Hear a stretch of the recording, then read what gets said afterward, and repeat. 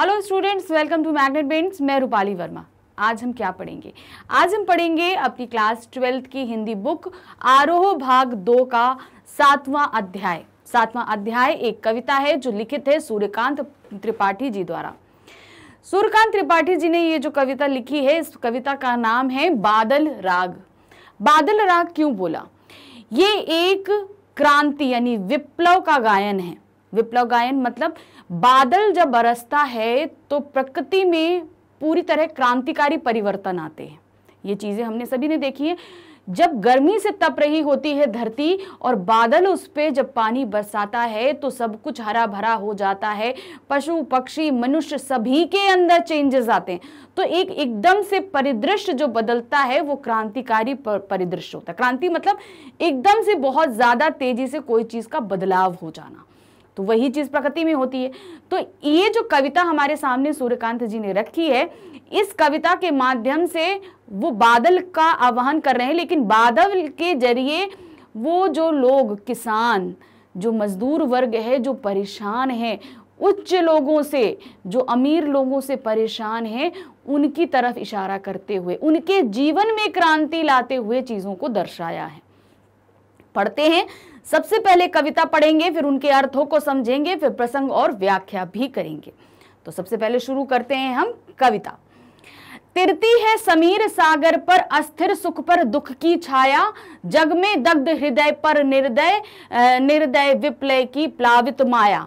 यह तेरी रणतरी भरी आकांक्षाओं से।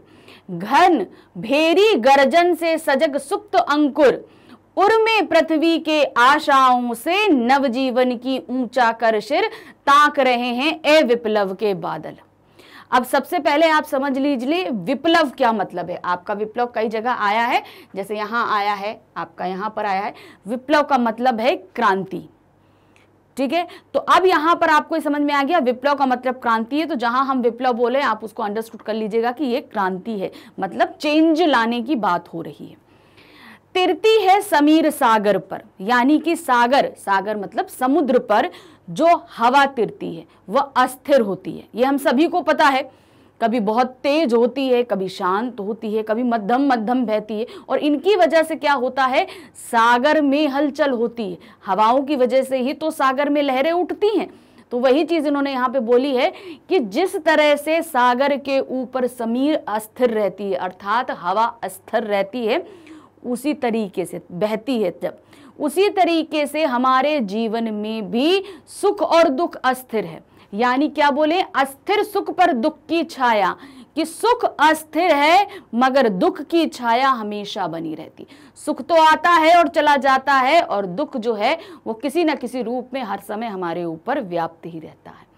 जग में दग्ध हृदय पर निर्दय निर्दय विप्लव की प्लावित माया। अब जग, इस पूरे संसार का हृदय जो है, वो जल रहा है। अब यहाँ पे सबसे पहले समझिए कि गर्मी से जल रहा है। आप ये समझ लीजिए। पहले प्रकृति से हम समझते हैं, फिर उसके पीछे जो कवि बोल रहे हैं, हम उनको समझेंगे।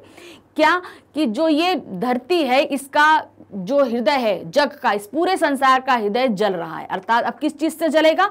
गर्मी से जल रहा है। निर्दय। निर्दय, विप्लव की प्लावित छाया, और तुम क्या कर दो? तुम जो निर्दय क्रांति है, अर्थात जो बादलों की जो क्रांति है, वर्षा की जो क्रांति है, वो ले आओ और इस प्रलय रूपी गर्मी को बहा कर ले जाओ। प्लावित मतलब बहा के ले जाओ, माया मतलब गर्मी। अब इसके पीछे छिपी हुई बात को क्या बोल रहे हैं? कि इस पूरे संसार में सभी जितने लोग हैं, वो दुखी हैं। उस पर तुम ऐसा कुछ करो जिससे इन सभी दुखी लोगों की जितनी भी दुख तकलीफ़ है, उसको तुम बहाकर ले जाओ। क्रांति लाओ और बहाकर लेकर सारी क्रांति के ज़रिए उनके दुखों को प्रयंकाली जो दुख है, उसको तुम बहाकर लेकर चले जाओ। यह तेरी रणतरी। अब यह रणतरी मतलब युद्ध की नौका। रण मतलब युद्ध, तरी मतलब नौका। यह तेरी रणतरी भरी आकांक्षाओं से। जो तुम्हारी ये युद्ध रूपी नौका है। अर्थात जब तुम मूसलाधार बारिश करते हो तो उसके साथ जो है क्या आता है? आकांक्षाएँ आती हैं, उम्मीदें आती हैं, खुशियाँ आती हैं। अब ये किसानों जब बारिश होती है तो क्या होता है? सभी को, सभी लोग खुश हो जाते हैं, सभी गर्मी से परेशान है, इसलिए खुश हो जाते हैं, किसान को खेतों में पानी मिल जाता है, खुश हो जाते हैं। पेड़ पौधे जो सूख रहे थे, उनकी प्यास बुझती है, जानवरों को शांति मिलती है धरती ही जो है, वो जो है, थोड़ा शीतल महसूस करती है। तो बादलों के बरसने से हर किसी को कहीं ना कहीं खुशी ही मिलती है। तो वही चीज़ उन्होंने बोला कि तुम इस युद्ध रोपी नौका को लेकर हो अर्थात तुम अपनी बारिश को ऐसे लेके आओ जैसे युद्ध हो, शुरू होता है। ऐसी बारिश करो और ये तुम्हारी नौका जो है, ये आकांक्षाओं से भरी, क्योंकि सबको कुछ ना कुछ चाहिए होता है। उसी तरीके से इस धरती पर जितने गरीब व्याप्त हैं, उनमें भी जो है कुछ आकांक्षाएँ भरी हुई हैं। तो तुम भी क्रांति लेकर आओ। घन भेरी गर्जन से सजग सुप्त अंकुर और तुम्हारे बादलों की गर्जन से, जब बादल आने से कितने तेज गड़गड़ गरजते तो वही तुम्हारे बादलों के गर्जन से जो है, वो धरती में, याद दिया है ना, उर में पृथ्वी के आशाओं से नवजीवन की ऊँचा कर सिर ताक रहे हैं ये विप्लव के बादल। तो अब यहाँ पर क्या बोल रहे हैं कि तुम्हारा जो गर्जन होता है, घर बादलों में जो तुम्हारा गर्जन होता है, उस गर्जन से पृथ्वी के हृदय में, यानी पृथ्वी की कहीं गहराई में कोई अंकुर फूटता है। यानी जब पानी पड़ता है तो कहीं कोई बीज सुप्त अवस्था में होता है तो जैसे ही उसमें पानी पड़ता है, उसमें जीवन आ जाता है और कुछ दिन में उसमें पेड़ निकल आता है। तो वही उन्होंने बोला कि तुम्हारे इस गर्जन से वो जो सुप्त धरती के अंदर जो बीज होता है, उसमें हड़कम मच जाती है। उसे उम्मीद जाग जागती है कि वो जल्दी ही बाहर निकल आएगा। तो उसमें आशाएँ आशाएँ आ जाती हैं कि उसे नया जीवन मिलेगा और वह सिर ऊँचा करके बाहर की ओर ताकेगा। ए विप्लव के बादल मतलब ए क्रांतिकारी बादल, तुम ऐसा बरस जाओ। तो अब ये जो इन्होंने बताया, ये एक अंकुर के माध्यम से बताया, यानी कि एक बीज जो है पृथ्वी के अंदर जो छिपा होता है। तो वही इन्होंने इसको दूसरे माध्यम से हम अगर समझेंगे तो क्या है इसके मतलब? कि जो सूर्यकांत त्रिपाठी निराला जी बोल रहे हैं कि उस कोई भी, अगर आपके अंदर कोई भी ऐसा क्रांतिकारी गर्जन सुनाई देता है तो आपके अंदर कहीं पे भी, किसी भी व्यक्ति के अंदर हृदय में अगर एक जरा सी भी चिंगारी होती है तो उसको हवा मिल जाती है और उसकी जितनी आकांक्षाएँ होती हैं बदलाव को लेकर, वो सभी बाहर आ जाती है। तो इस तरीके से ये पहले चंद की व्याख्या कंप्लीट हुई। तो अब इसका हम प्रसंग करेंगे और व्याख्या करेंगे। प्रस्तुत काव्यांश हमारी पाठ्य पुस्तक आरोह भाग दो में संकलित कविता बादल राग से उद्धत है। इसके रचयिता महाकवि सूर्य महाकवि सूर्यकांत त्रिपाठी निराला है। इसमें कवि ने बादल को विप्लव या क्रांति का प्रतीक मानकर उसका आवाहन किया है।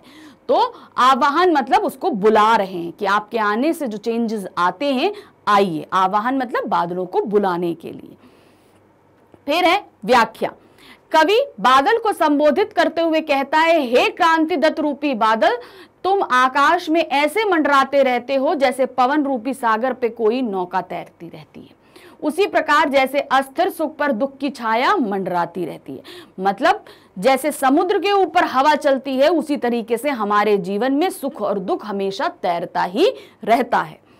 सुख हवा के समान चंचल है तथा अस्थायी है। वो कुछ समय के लिए आता है और चला जाता है। बादल संसार में जले हुए हृदय पर निर्दयी प्रलयकारी रूपी माया के रूप में हमेशा स्थिर रहता है। मतलब बादल हमेशा कुछ ना कुछ चेंजेस लेकर आते हैं पृथ्वी पर। बादलों की युद्ध रूपी नौका में आम आदमी की इच्छाएँ भरी हुई रहती हैं। मतलब बादल आता है तो आम आदमी हर अप, हर आदमी के दिल में अलग अलग आशाएँ होती हैं। किसान को अगर अपनी खेत के लिए पानी मिलता है तो जानवरों के लिए प्यास बुझती है। पेड़ों के लिए वहाँ पर क्या कहते हैं सब नवजीवन मिलता है। ये धरती जो जल रही होती है उसको शांति मिलती है और आम आदमी को गर्मी से छुट्टी मिलती है।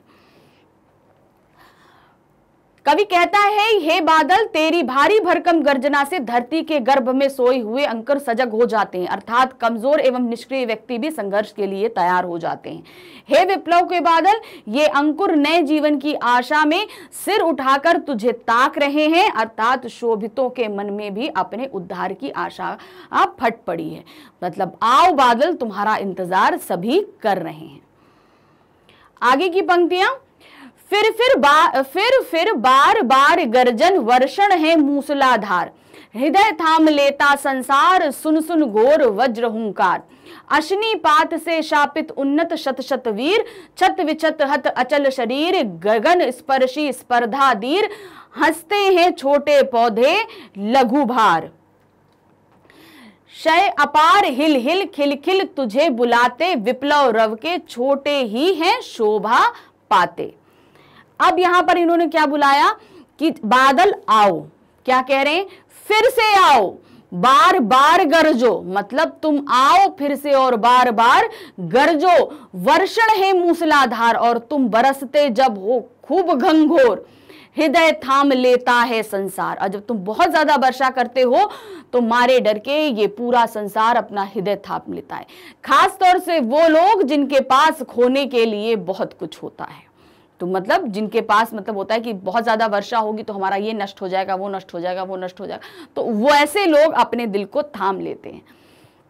सुन सुन घोर वज्र हुंकार। मतलब जो तुम वज्र जैसी हुंकार करते हो मतलब गर्जन होती है, बिजली चमकती है तो जब बहुत ज़्यादा घंघोर घटा छाट जाती है और खूब मूसलाधार बारिश के आसार हो जाते हैं तो वो लोग अपने दिलों को थाम लेते हैं, जिनके पास बहुत वैभव और संपदा होती है, क्योंकि उनको डर होता है कि उनका बहुत कुछ नष्ट हो जाएगा।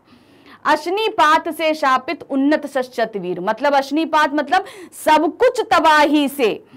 वो शापित यानी कि वो डर डर जाते हैं, जो उन्नत वीर हैं, यानी कि जो बहुत बड़े योद्धा हैं, यानी कि तुम्हारे गर्जन से जो है, वो बड़े बड़े योद्धा डर जाते हैं, अर्थात तुम्हारे गर्जन से वो लोग डर जाते हैं, जो बहुत वैभव संपन्न हैं। छत विचत हत अचल शरीर, और तुम क्या करते हो? जो छोटे जो बड़े बड़े होते हैं बड़े बड़े योद्धाओं को तुम मार गिराते हो। अर्थात उन बड़े बड़े वैभवशाली को, लोगों को तुम्हारी मूसलाधार बारिश से जो है बहुत क्षति पहुँचती है। गगन स्पर्धी स्पर्धा धीर और गगन को स्पर्श करने वाली इस स्पर्धा में लोग अपने धीर को खो बैठते हैं। हँसते हैं छोटे पौधे लघुबार और वो छोटे पौधे, क्या तो जब बहुत तेज हवा चलेगी तूफ़ान आएगा तो बड़े बड़े पेड़ हवा आंधी में देखिए गिर जाते हैं। मगर जो छोटे छोटे पेड़ होते हैं उनको कुछ नहीं होता। तो वही चीज़ उन्होंने बताया जब बहुत ज़्यादा वर्षा होती है गर्जन होता है तूफ़ान आते हैं तो वो जो बड़े बड़े लोग होते हैं वैभवशाली संपन्न उन्हें उन, वो उखड़ जाते हैं क्योंकि उनका बहुत कुछ नुकसान हो जाता है। लेकिन जो छोटे लोग होते हैं गरीब लोग होते हैं उनके पास खोने के लिए कुछ भी नहीं होता। तो एक हँसते हैं छोटे पौधे मतलब उन छोटे पौधे, यानी गरीब लोग जो है, हँसते हैं, अर्थात उनको कुछ भी नहीं होता है। शय अपार हिल हिल खिल खिल तुझे बुलाते विप्लव के छोटे, ए, छोटे ही शोभा पाते।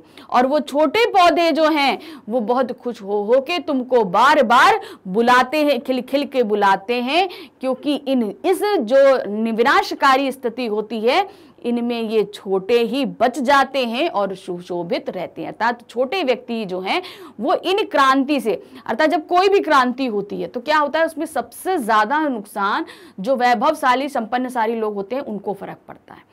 छोटे लोगों को इसलिए नहीं फ़र्क पड़ता क्योंकि जब भी क्रांति होगी, कोई ना कोई बदलाव होगा और उससे छोटे वर्ग को हमेशा फ़ायदा होगा।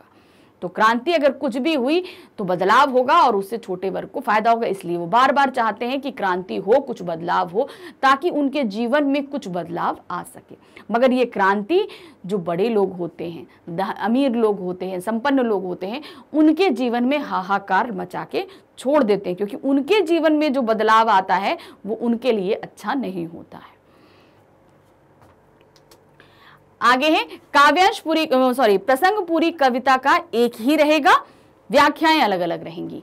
प्रस्तुत काव्यांश, हमारी पाठ पुस्तक आरोह भाग दो में संकलित कविता बादल राग से उद्धत है। इसके रचयिता महाकवि सूर्यकांत त्रिपाठी निराला है। इसमें कवि ने बादल को विप्लव और क्रांति का प्रतीक मानकर उसका आवाहन किया है। व्याख्या, कवि कहता है, हे क्रांतिकारी बादल तुम बार बार गर्जन करते हो, मूसलाधार बारिश करते हो। तुम्हारी वज्र के समान भयंकर आवाज़ को सुनकर संसार अपना हृदय थाम लेता है। अर्थात सभी भयभीत हो जाते हैं। बिजली करने से आकाश की ऊंचाइयों को छूने की इच्छा रखने वाले ऊँचे पर्वत भी उसी प्रकार घायल हो जाते हैं, जैसे रण क्षेत्र में वज्र के प्रहार से बड़े बड़े वीर मृत्यु को प्राप्त हो जाते मतलब क्या है कि जो बड़े बड़े लोग हैं, जब क्रांतिकारी क्रांति होती है तो उनको फ़र्क पड़ता है। वही दिया, दूसरे शब्दों में बड़े लोग या बूझीपदी ही क्रांति से प्रभावित होते हैं। इसके विपरीत छोटे पौधे हँसते हैं। वे उस विनाश से जीवन प्राप्त करते हैं, वे अपार हरियाली से प्रसन्न होकर हाथ हिलाकर तुझे बुलाते हैं। विनाश के शोर से सदा छोटे प्राणियों को ही लाभ मिलता है। दूसरे शब्दों में, क्रांति से निम्न व दलित वर्ग को अपने अधिकार ही प्राप्त होते हैं। आगे की कविता देखेंगे। अट्टिक अट्टालिका नहीं रे आतंक भवन, सदा पंख पर ही होता जल विप्लव प्लावन। क्षुब्ध प्रफुल्ल प्रफुल्ल जलज से सदा छलकता नीर, रोग शोक में भी हंसता है शैशव का सुकुमार शरीर। रुद्रकोश है, क्षुब्ध तोष है। अंगना अंग से लिप, से लिपटे भी आतंक अंक पर काप रहे हैं। धनी वज गर्जन से बादल, त्रस्त नयन मुख ढांप रहे हैं। अब इसमें क्या बोल रहे हैं कि जब बहुत मूसलाधार बारिश होती है तो इसमें क्या होता है? अट्टालिका नहीं है। यानी कि अब इन्होंने बताया बड़े लोगों के बारे में पहले बताना शुरू किया, फिर वो बादल पे आएँगे। जो बड़े बड़े लोग होते हैं, उन्होंने बहुत बड़े बड़े घर खड़े कर रखे हैं। तो वही बोल रहे हैं कि ये जो बड़े बड़े घर है ना, ये महल नहीं है, ये आतंक का घर है। क्योंकि ये इन घरों को लोगों को सताकर अपने लिए धन इकट्ठा करके बनाए गए हैं। तो ये घर, ये मात्र घर नहीं है, ये आतंक के घर हैं। सदा पंख पर ही होता जल विप्लव प्लावन, यानी पंख मतलब कीचड़। हमेशा कीचड़ पर ही क्या होता है?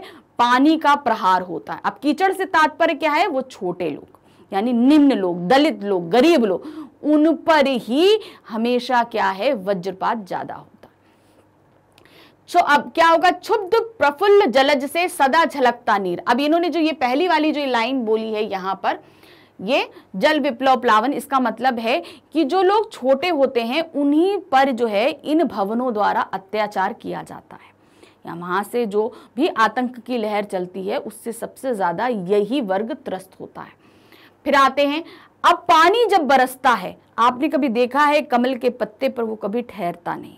हमेशा वो बहकर निकल जाएगा। उस पत्ते की ऊपर की बनावट ऐसी होती है कि आप उस पर अगर एक पानी डालो तो जैसे हम लोग थाली में पारा डालते हैं मरकरी डालेंगे ना तो जैसे वो तैरता रहता है, कहीं चिपकेगा नहीं। उसी तरीके से कमल के पत्ते के ऊपर अगर पानी भी पड़ जाए तो वो वैसे ही फिसल के निकल जाता बिल्कुल उसको गीला नहीं करता। तो वो इन्होंने दिया है, शुद्ध प्रफुल्ल जलज से सदा छलकता नीर, और क्या होता है अगर कमल के ऊपर पानी पड़ जाए तो वो निकल जाता है, छलक जाता है मतलब बाहर की तरफ़ चला जाता है। अर्थात क्या है यहाँ पर?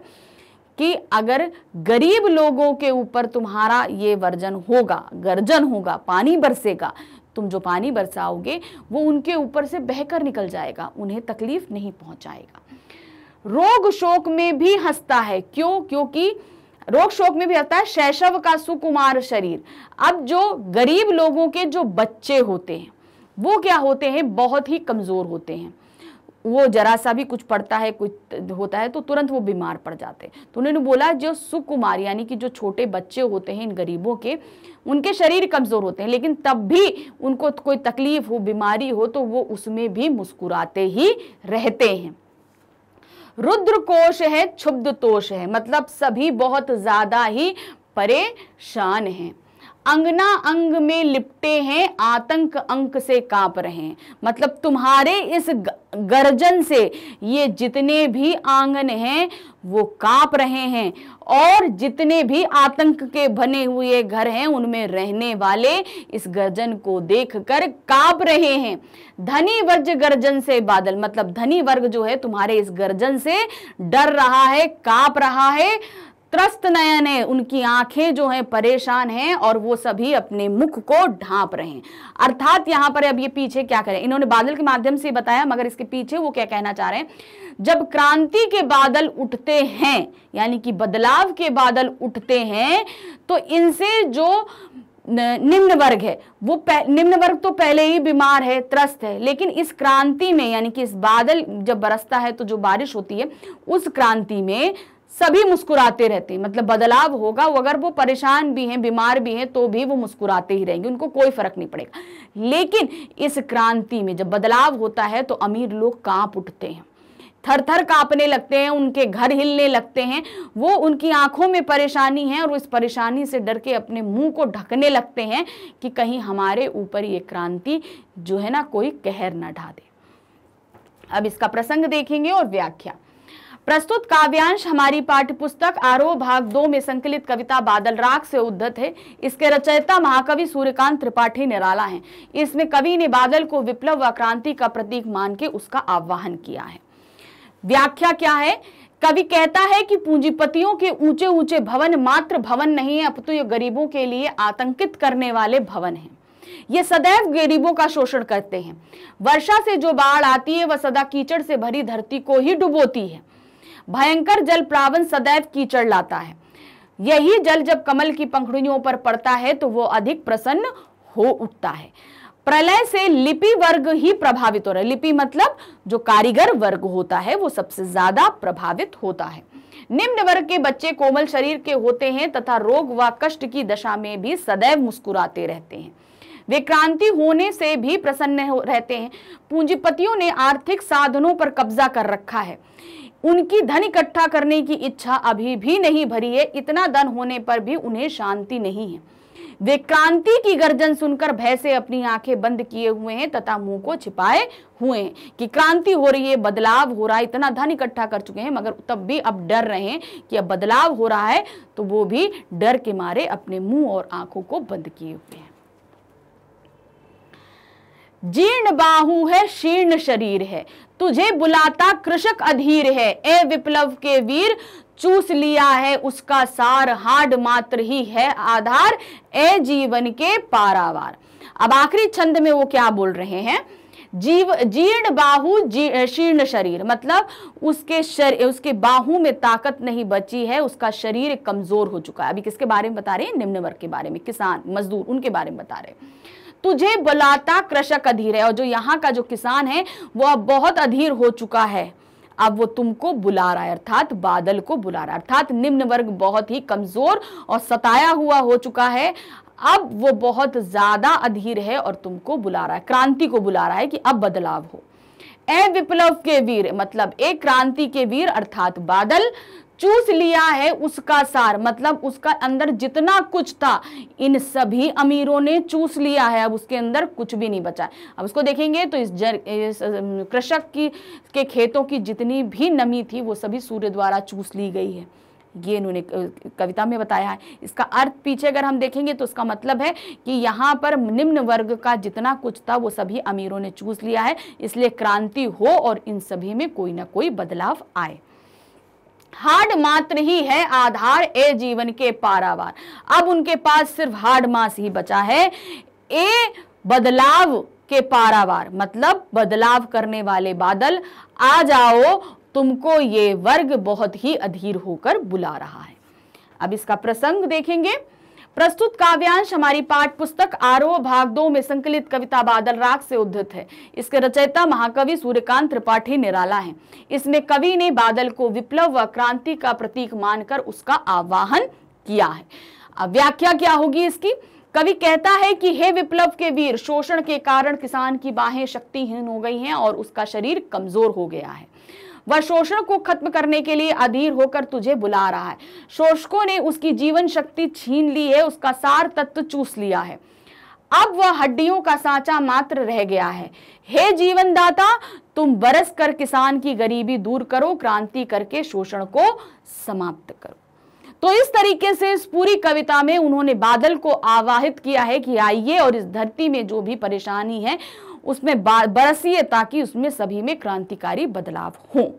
तो ये दो तरीके से एक कविता थी, एक तो बादल को बुलाया जा रहा था, साथ ही जो अमीर वर्गों द्वारा त्रस्त हैं, यहाँ के निम्न वर्ग, उनके लिए इन बादलों को बुलाया जा रहा है ताकि वो लोग थोड़ी शांति को पा सके। अब हमने ये पार्ट तो पढ़ लिया, लेकिन आप लोगों को और भी सब्जेक्ट पढ़ने होते हैं। और भी चैप्टर्स देखने होते हैं तो उसके लिए आप लोग बहुत परेशान रहते हैं कि हम कैसे उन सब्जेक्ट्स को ढूंढें या उन चैप्टर्स को ढूंढें। तो उसके लिए बहुत ही ईजी है आपको करना क्या है, आपको हमारी वेबसाइट पे जाना है। हमारी वेबसाइट है मैग्नेट आपको वहाँ जाना है, आप उसको वहाँ पर जाएँगे और हमारा ये जो है पेज अपेयर होगा। उसके ऊपर आपके सामने यहाँ पर क्लासेस आ जाएँगी। आप जिस भी क्लास में हैं, उस क्लास को, के ऊपर आप क्लिक करेंगे। क्लास क्लिक करते ही आपके सामने उस क्लास के सभी सब्जेक्ट आ जाएँगे। अब आपको जो सब्जेक्ट पढ़ना है, उसके आगे आप वॉच नाउ सब लिखा हुआ है, आप जो भी पढ़ना चाहेंगे उस पर क्लिक करेंगे वॉच नाउ जैसे ही आपने यहाँ पे क्लिक किया, इसको क्लिक करते ही आपके सामने वो सब्जेक्ट का पूरा पेज अपेयर हो जाएगा। ये पेज आते ही आपके सामने चैप्टर्स आ जाएँगे बुक आ जाएगी। जितनी भी बुक्स हैं आपकी वो सब आएँगी, फिर उसके अंदर के चैप्टर्स आएँगे।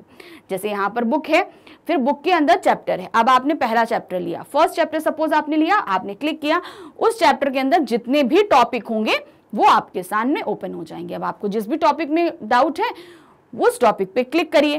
क्लिक करते ही आपका वीडियो स्टार्ट हो जाएगा। तो वीडियो स्टार्ट हुआ। आपके जितने डाउट्स हैं, क्लियर कीजिए और अपनी पढ़ाई को बहुत आसान बनाइए। तो ये वीडियो मैं यहीं ख़त्म करती हूँ। Thank you. बाय